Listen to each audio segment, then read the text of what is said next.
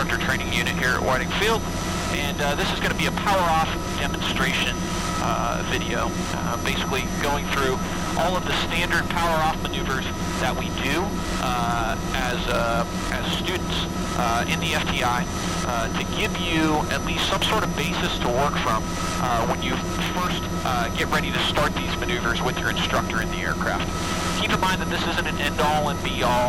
Uh, your instructor is going to teach you a lot of different techniques that are still going to be within the FTI, but maybe a little different than what you see exactly in this video.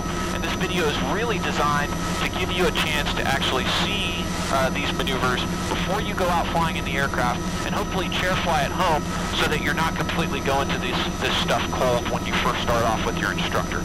So hopefully you enjoy these and uh, you'll get something out of them. The first maneuver that we're actually going to conduct here is going to be a hover cut gun or a simulated engine failure in a hover. I've already confirmed that the aircraft is actually into the wind. The winds are relatively calm here at Spencer today, so I'm using this 360 heading that we've actually got right now. I'll lift the aircraft up into a hover and actually uh, begin the cut gun using the standard FTI verbals or ditties, whatever you want to call them, uh, that are in the book to actually get the aircraft safely on the deck mind with this technique uh, maneuver, a little technique uh, uh, input from, from my part here. Uh, you, this maneuver uh, shouldn't be any different uh, or very much different than a normal landing. This aircraft has a bunch of ro rotor inertia set up in it. It's a high inertia rotor head.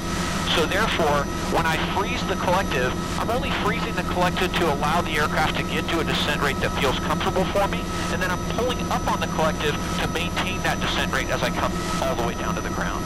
And from the outside of the aircraft, other than the rotors spinning down, uh, it shouldn't look very different than a normal landing. And additionally, from the inside of the aircraft, it shouldn't look different from a vertical landing, except for the fact that instead of the collective coming down to actually initiate the landing, the collective is actually coming up as we get closer to the ground. So let's try this. Clear right up, going up. Establishing the aircraft here in a nice five-foot hover, and your instructor is going to bring the twist grip to flight idle on you but I'm going to do it uh, for myself today here in the right seat and initiate the maneuver. Mind that you don't exactly have to keep the nose aligned with the same position that it's in uh, right now.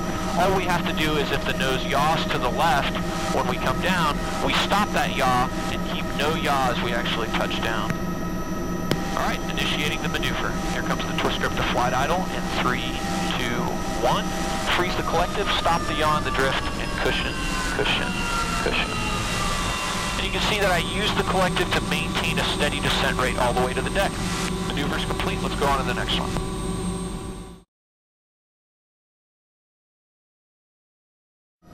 The next maneuver we're going to do is going to be a hover taxi cut gun or a simulated engine failure in a hover taxi. I'm going to back taxi here a little bit to give us a little bit more room to actually conduct this maneuver.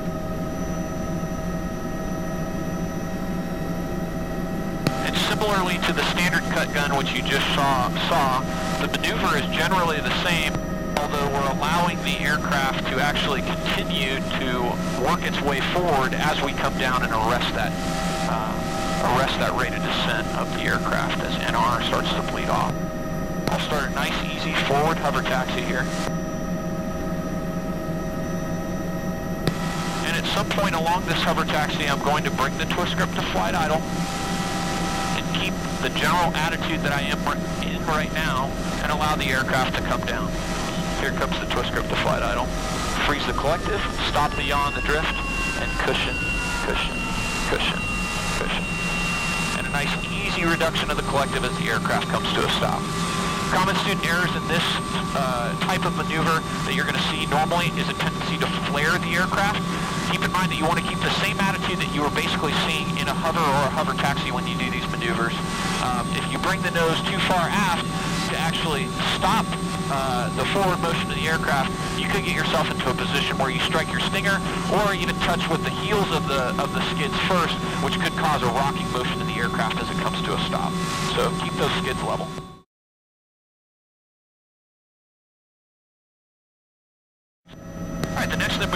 Going to be accomplishing right now is a 1,000 foot straight in auto. You'll start these at the beginning of your auto rotation training to just figure out the auto-rotational characteristics of the aircraft and keep the aircraft less dynamic on a straight in so that it's easier for you to understand the concepts that we're trying to teach. As we continue to climb to a 1,000 feet here, we're almost there. We can take a look down at our lane. I'm going to shoot it to the 90 lane on the left side here at Spencer. That lane is clear. The windsock is showing some sort of a head, headwind component, and our harnesses are locked and we're ready to begin the maneuver.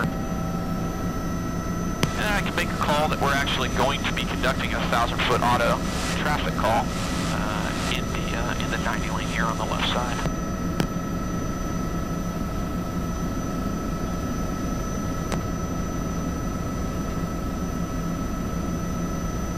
As part of this maneuver, your instructor can also show you some auto-rotational characteristics of the aircraft. For instance, on this one, I'll show you that if I nose it over and NR falls, on the, nose it over on the cyclic, if I bring the cyclic aft, just like as in a flare, NR is going to climb. And then if I increase or decrease the collective NR, uh, falls and rises appropriately with that increase or decrease.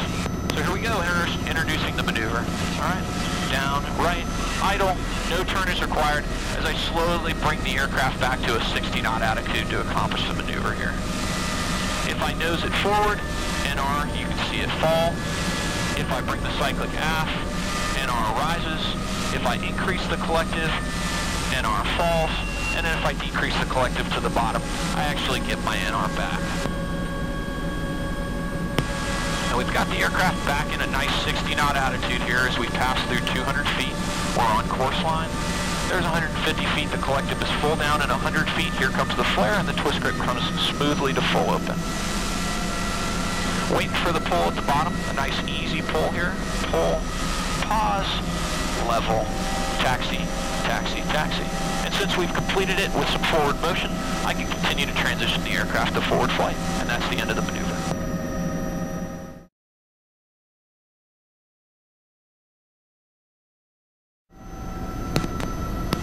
Alright, the next maneuver that we're going to accomplish is a 600-foot AGL straight-in auto rotation.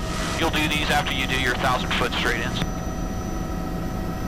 Keep in mind on this one that we won't be uh, playing around with the auto-rotational characteristics of the aircraft. We'll stick more to the ditty um, or the verbals uh, that you can find in your FTI. And we'll finish the maneuver again in a power recovery auto-rotation. I can look down at our lane again and we're going to be using the 90 lane one more time. And I can see that the lane is clear. The windsock is showing some sort of headwind component, and our harnesses are locked. And as we come around to final here, I get all my parameters in check and ensure that I've got a nice 70 knot attitude on the aircraft. About 750 feet on the baro here, which equates to about 600 feet AGL here at Spencer, with the ball nice and centered and the VSI or below zero. And as we roll out on final here, I'll get ready to enter the maneuver. All right, and entering. Down, right pedal, idle, no turn is required, as I pick up a nice 60 knot attitude with the aircraft. That kind of is somewhere in between, you know, with the uh, screw here, just a little bit below the horizon. 200 feet. On course line, 150, collective is full down, and 100 feet, a nice easy progressive flare again, and the twist grip comes smoothly to full open. And now we just wait for 10 to 15 feet, looking completely outside of the aircraft to start the pull. Here's 10 to 15, pull, pause, level, and a nice taxi, taxi, taxi. The maneuver's complete. Clear right forward on the go.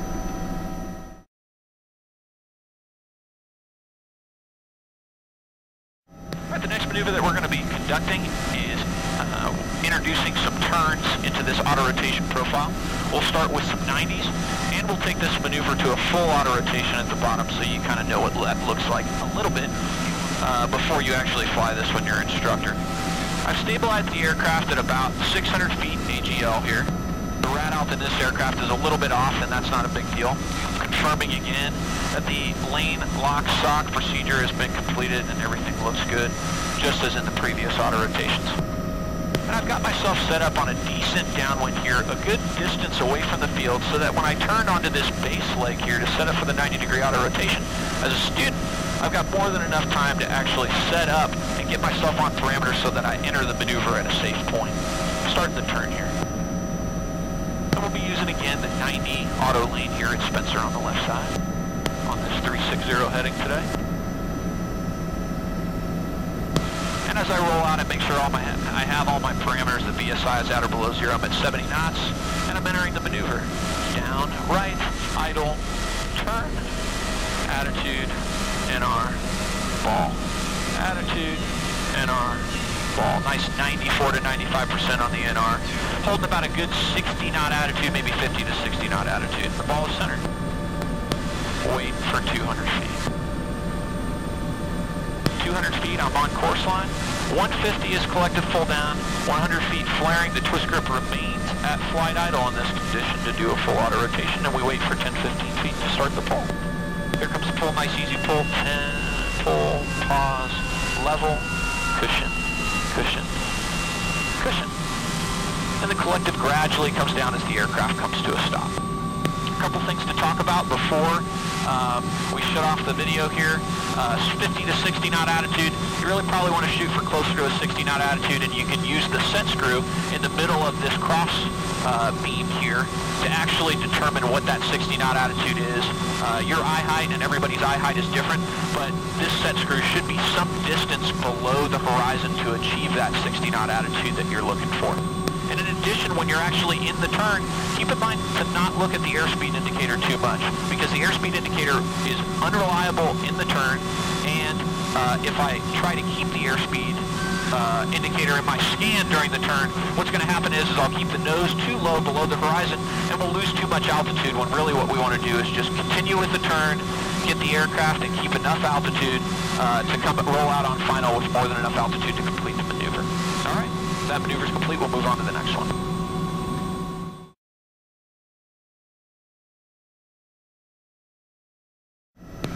All right, the next maneuver that we're going to be conducting is a 180 degree full auto rotation. Just as in the last maneuver with the 90, uh, I don't want to worry about the airspeed indicator too much when I'm going through the turn. It's relatively unreliable, and if I keep the, instead look outside and keep the attitude relatively on the horizon with the nose, I should be able to have more than enough altitude when I roll out on final uh, to actually complete the maneuver in a safe, uh, defined manner, uh, you know, every time. Lane lock sock still all conducted here. Getting ready to conduct this in the left side of the 180, 180 lane here at Spencer. And entering the maneuver. Down, right, idle, some people use over backing up. I usually don't like it. You can see I've got the aircraft in a nice easy turn all the way around, nice and lazy turn. And as we roll out on final, I immediately re-attack and get my 650 to 60 knot attitude, bringing that set screw below the horizon. There's 200 feet on course line 150. Collective is full down 100 feet flare, and the twist grip is at flight idle. So wait to pull at 10 to 15 feet. Pull, pause, level, cushion, cushion, cushion, for a nice soft touchdown. Maneuver complete.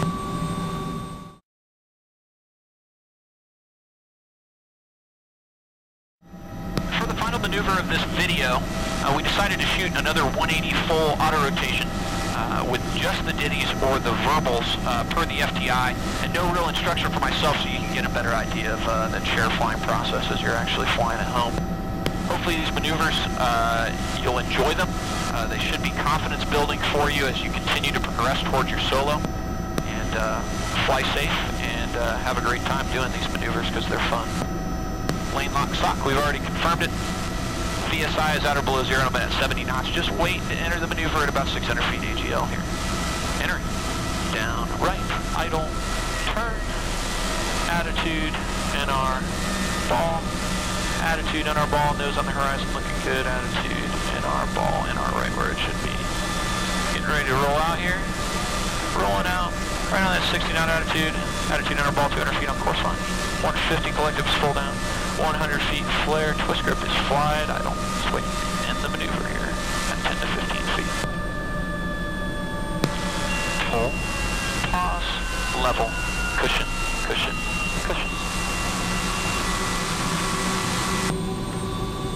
mais seis gajos.